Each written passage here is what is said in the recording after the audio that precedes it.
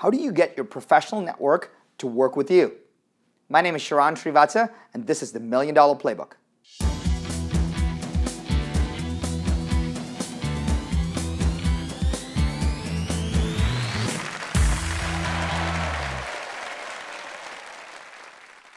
The one question I get asked often is how agents can add value to this professional sphere, meaning CPAs, bankers, attorneys, etc. How can they add value to them? And here's what I would wager.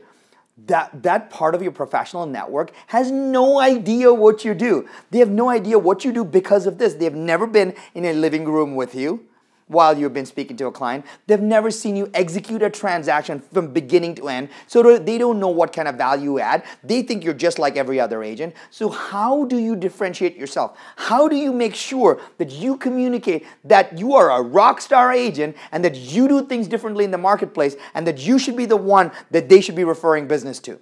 I have a simple but powerful idea that I want to share with you that has worked really, really well with many of the agents that I've talked to. And here's what you do I want you to reach out to key members of your professional sphere and, and, and, and tell them and ask and tell them exactly this. Say their name is David. You would say, David, I'd love 30 minutes of your time and I want to show you the exact same presentation that I make to my clients in their living room. And this is your listing presentation. This is what you would pitch to a client to earn their business. And, and, the, and, your, and your professional network needs to see that. They need to know what your value add is.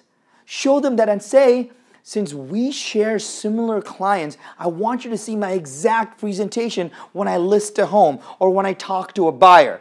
And I want and I would love for two things. Number one, I'd love for feedback because we share similar clients. And number two, I would love for a way to weave you in and if you can teach me how. I would love for a way to weave you in if you can teach me how.